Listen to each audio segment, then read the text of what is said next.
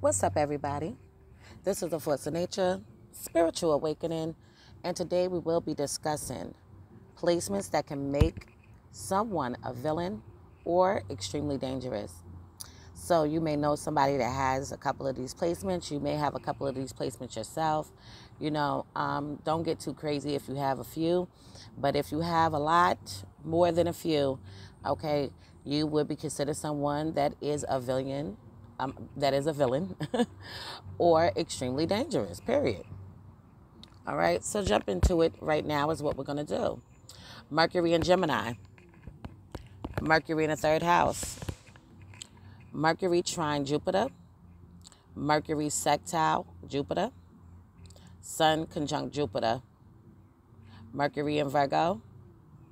Mercury in the sixth house. Mercury in Aquarius. Mercury in the 11th house.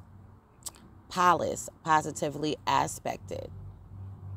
Pallas is asteroids. If anybody does not know that, that's what it is. You can find it actually in the birth chart. Okay. Um, it's like close to Ceres, Juno, things like that. You could you could find it.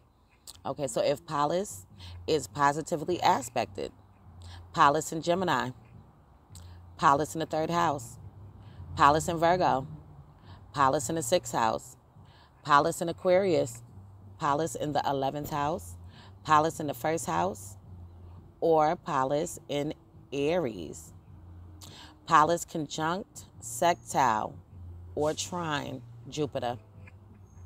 Sun in Leo, Sun in the fifth house, Sun in Scorpio, Sun in the eighth house, Sun in Capricorn, Sun in the tenth house, Sun in Gemini, Sun in the third house, Sun in Aries, Sun in the first house, North Node conjunct Mars, North Node squared Mars, North Node opposite Mars, North Node conjunct Pluto, North Node squared Pluto, North Node opposite Pluto, Moon in Scorpio, Moon in the eighth house, Moon in Leo, Moon in the fifth house, Moon in Aries, Moon in the first house, Venus in Scorpio, Venus in the eighth house, Mars in Cancer, Mars in the fourth house, Mars in Pisces, Mars in the 12th house,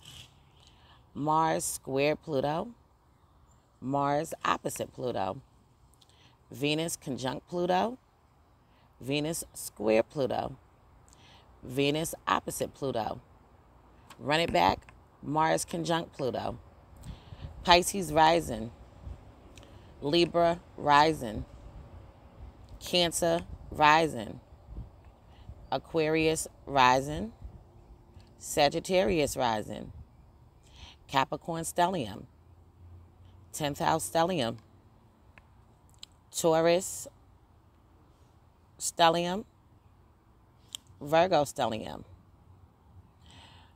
Capricorn stellium, Leo stellium, second house stellium, sixth house stellium, tenth house stellium, fifth house stellium, Mercury in Scorpio, Mercury in the eighth house, Juno in the tenth house, Juno in Capricorn, Juno in Scorpio, Juno in the eighth house, Venus in the 10th house, Venus in Capricorn, Venus conjunct the MC, Venus conjunct the midheaven. That's what the MC is. For anybody that doesn't know what the MC is, it is the midheaven. So this would be Venus conjunct midheaven. Venus at two degrees all right. What else? Moon in Gemini. Moon in the third house. Juno in the first house. Juno in Aries.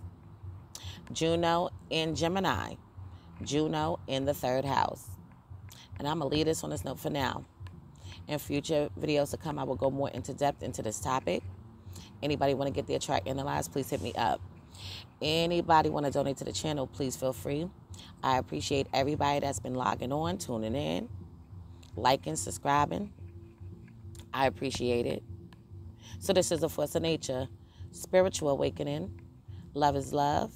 Peace and blessings to you all. And I will see you on the next one.